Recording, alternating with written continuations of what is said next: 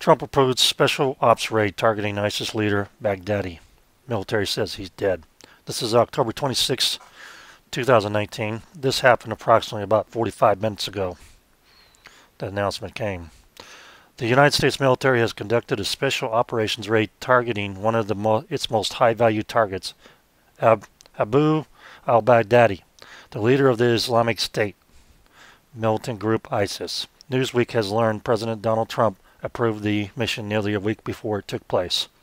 Amid reports of Saturday uh, U.S. military helicopters over Syria, northwestern Idlib province, and senior Pentagon officials familiar with the operation in the Army official briefed on the matter told Newsweek that Baghdadi was the target of the top secret operation in the last bastion of the country's Islamic dominated opposition, a faction that has clashed with ISIS in recent years.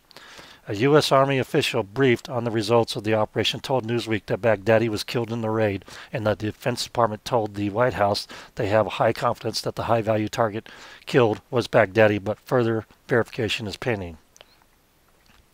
So there you go. ISIS leader is toast.